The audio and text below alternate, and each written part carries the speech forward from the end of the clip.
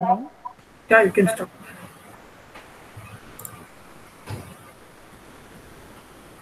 Um, good morning, everyone. I am going to discuss about self-compacting concrete. SCC is a type of concrete which attains compaction without the use of external vibrators. This type of concrete is used in places where the use of vibrators is quite hard. They have a higher flow ability in their fresh state, which enable self-compaction without any segregation issues. The various materials used in making SCC are ordinary Portland cement, fine aggregate, coarse aggregate, water, chemical and mineral admixture. Cement of grade 43 or 53 is generally used. Fine aggregate of size smaller than 0.125 mm is used. They can be either natural or manufactured with uniform grade. Coarse aggregate size is limited to 20 mm, but for congested reinforcement, size can vary between 10 to 12 mm. Well graded, round, or cubical aggregates are more preferred for good performance.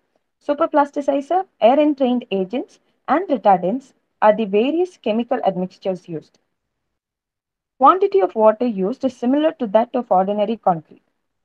Mineral admixtures are used according to the mix design.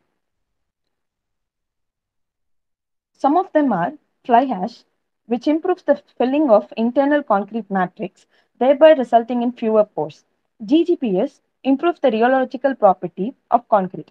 Rheology means how a material deforms or flow when force is applied. The material property that governs the specific way in which these flow behavior occurs is called as rheological property.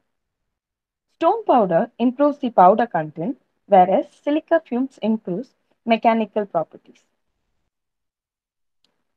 We may observe that the quantity of gravel used in SCC is lower than that of ordinary concrete, but the amount of binding material used is increased in self-compacting concrete.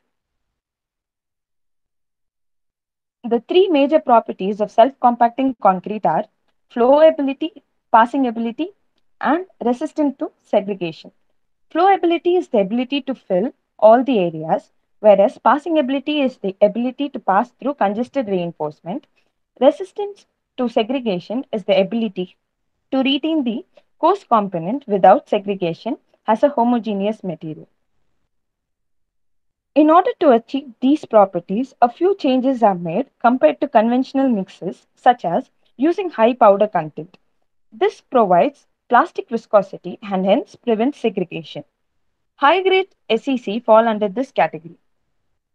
Using of VMA. VMA stands for viscosity modifying admixture. Segregation is controlled by VMA. Low grade SCC fall under this category. Combination of both VMA and higher powder content leads to medium grade SCC mixes. There are various tests. There are various tests conducted on SCC depending on their properties. Filling ability is determined by slump flow test, T50 centimeter slump flow test, V funnel test, and Orimet test.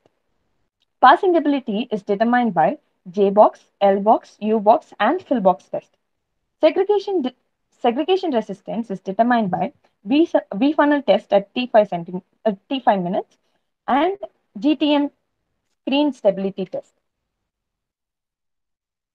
This is the slump flow uh, slump flow test setup. The value should range between 650 mm to 850 mm. Next is the T50 centimeter slump flow test. Its range should be between 2 to 5 seconds. V funnel test value should range between 8 to 12 seconds. This is the Orimet device and its value should be between 0 to 5 seconds. This is the J-ring apparatus and its typical value should range between 0 to 10 millimeter. This is an L box and its value should range between 0.8 mm to 1 mm. Um, this is the picture of a con uh, U box U box and its value should range between 0 to 30 centimeter. This is the fill box apparatus and its value should range between 90% to 100%. This is the apparatus used to perform V-funnel test and its value should be around 0 to 3 seconds. And this is the apparatus to perform GTM screen stability test and its value should range between 0, uh, 0 to 15, 15 percentage. The various factors that affects SCC are hot weather, long haul distance, which reduces workability, delay of work on site, and addition of more water at site, which leads to stability problems. Self-compacting concrete has numerous advantages, such as reduction in skilled labor, it bonds easily to steel rebars, easily flows into congested and complex areas, voids are minimized, provides high strength and durability, accelerates project schedule, fast placement and reduction in noise level without the use of mechanical vibrators. It also produces uniform surface. SCC also has some disadvantages such as material selection is very strict and high precision is required while measuring. Cost of construction is quite higher than regular concrete. Many trial batches and laboratory tests are required to use a design mixture. And most importantly, there is no internationally accepted test standards yet for SCC. Here are a few applications of SCC.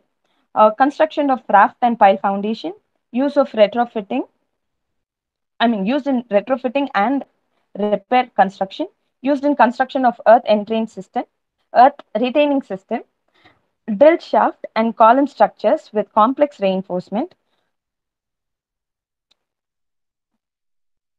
Um, thank you.